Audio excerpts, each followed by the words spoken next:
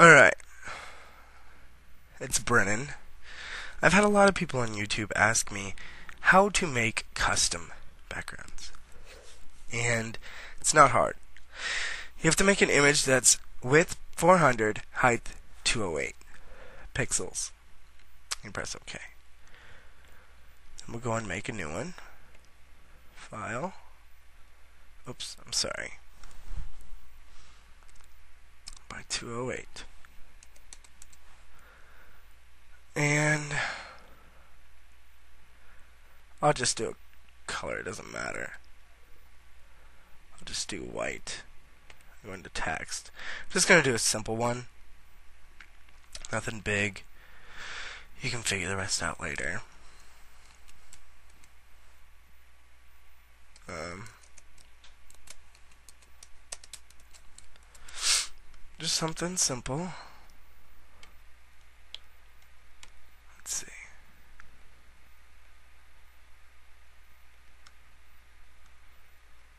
Alright, we'll go to 72.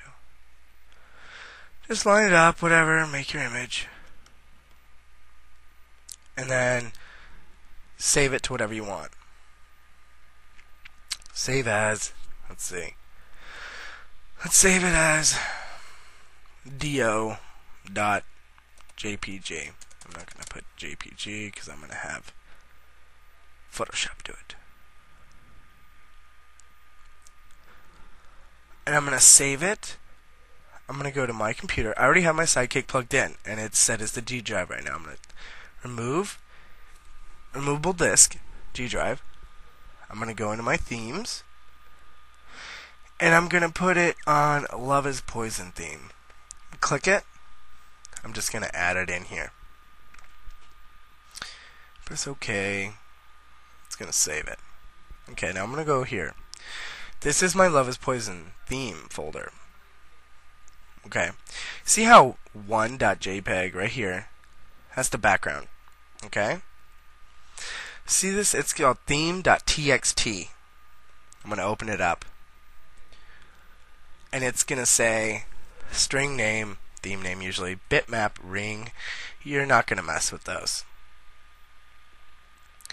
Okay. You are going to see bitmap ring folder background. Okay. That's when you go, let's say, you click on instant messages and it goes to the second thing and it has the two options picture messages or text messages. That's your second background. Your first background is going to be it's going to be bitmap ring background 1.jpg or whatever JPG it is. You're going to go in here, erase that, and I named mine do.jpg. Then you go to File, Save. And then, now, this theme will use the background I created. It is that simple. It's easy. Now, if you're just going to make your own theme, and you don't want, and you want to use like the basic, um, everything else basic on the Sidekick LX and everything, what you're going to do is you're going to open up a document. And you're going to put number sign, the theme name, another number sign, string name, and then space. You're going to put the theme name. Just say like um, random picture, whatever you want, whatever picture it is, whatever background picture. And then the only thing you're going to put is bitmap, B I T M A P space ring dash, which is like minus sign. I don't know what you call it. I just call it a dash. Background, and then space, and then the name dot JPG or PNG, whatever you saved it as. It's that easy. And then you're just going to go File, Save, Theme.txt. And then you're going to go into your themes. You're going to create a folder. Name it whatever you want. It doesn't matter.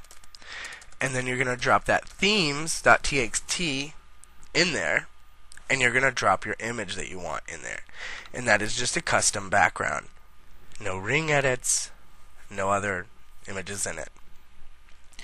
That is the easiest way and the fastest way to make a sidekick background.